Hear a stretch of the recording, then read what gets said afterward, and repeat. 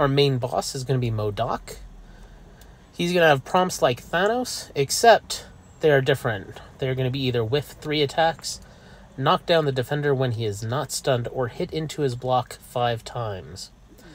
There are a couple new mechanics, whether it be Undermine or Penance. Undermine is a buff allowing you to bypass auto block, and Penance is going to make your fights harder by giving your defender extra boosts, something like Power Gain or Unblockable.